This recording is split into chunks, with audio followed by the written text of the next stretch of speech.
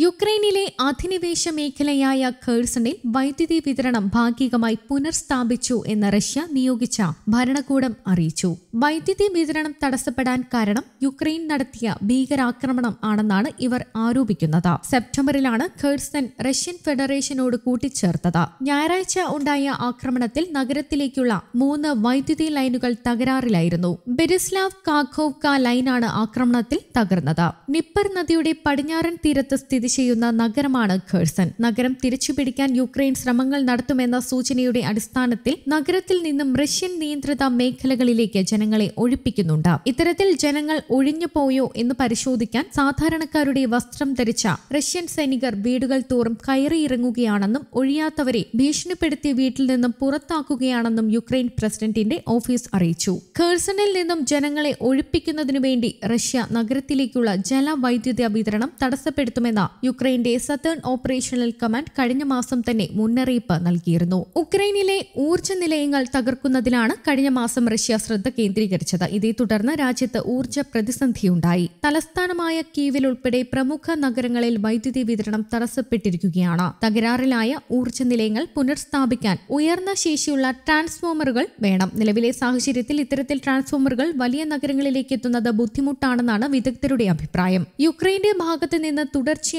തിരിച്ചടികൾ നേരിട്ടതോടെ കഴിഞ്ഞ ആഴ്ചകളിൽ പ്രധാന നഗരങ്ങളിലെ പവർ സ്റ്റേഷനുകൾ ലക്ഷ്യമാക്കി റഷ്യ വൻതോതിൽ മിസൈൽ ഡ്രോൺ ആക്രമണങ്ങൾ നടത്തിയിരുന്നു. ഒരു മാസം കൊണ്ട് രാജ്യത്തിന്റെ വൈദ്യുതി വിതരണ ശൃംഖലയുടെ മൂന്നിലൊന്ന് ഭാഗം തകർക്കപ്പെട്ടതായും സെലൻസ്കി അറിയിച്ചു. യുദ്ധത്തിൽ തകർച്ചകൾ നേരിടാൻ തുടങ്ങിയതോടെ റഷ്യ മുൻനിര പോരാട്ടത്തിൽ നിന്നും പിൻവലിഞ്ഞിരുന്നു. പകരം യുക്രൈന്റെ അടിസ്ഥാന സൗകര്യങ്ങൾക്ക് നേരെയാണ് ഇപ്പോഴത്തെ ആക്രമണം. യുക്രൈന്റെ ഊർജ ശൃംഖലയ്ക്ക് നേരെയാണ് ആക്രമണത്തിന് പദ്ധതിയിടുന്നതെന്ന് റഷ്യൻ പ്രതിരോധ വകുപ്പും സ്ഥിരീകരിച്ചിട്ടുണ്ട്. യുക്രൈനിലെ ഖേഴ്സൺ മേഖലയിൽ നിന്നും സേനയെ പിൻവലിക്കുന്നതായും റഷ്യൻ അധികാരികൾ അറിയിച്ചു. ഇത് റഷ്യൻ സൈനിക പിന്മാറ്റത്തെ സൂചിപ്പിക്കുന്നതായാണ് വിലയിരുത്തൽ.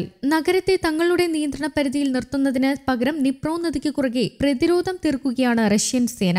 ശീതകാലത്തിനു മുൻപേ തെക്ക് കിഴക്കൻ മേഖലകളിൽ പ്രതിരോധം തീർക്കാനുള്ള നീക്കവും റഷ്യൻ സേനയുടെ ഭാഗത്തു നിന്നുണ്ട്. റഷ്യൻ സേന പിടിച്ചെടുക്കുന്ന സ്ഥലങ്ങളിൽ നിന്നും യുക്രൈൻ പൗരന്മാരെ ഒഴിപ്പിക്കുന്നുണ്ട്. ഖേർസൺ പിടിച്ചെടുത്തത് യുദ്ധത്തിൽ റഷ്യൻ സേനയുടെ വലിയ നേട്ടമായാണ് കണക്കാക്കുന്നത്. പക്ഷേ ഈ ഭാഗത്ത് യുക്രൈൻ പ്രതിരോധം കൂടുതൽ ശക്തമാക്കിയിട്ടുമുണ്ട്. ഈ ഭാഗത്ത് ബാങ്കുകളും മ്യൂസിയങ്ങളും കൊള്ളയടിക്കപ്പെട്ടതായും റിപ്പോർട്ടുകളുണ്ട്. News desk Kerala Kaumudi.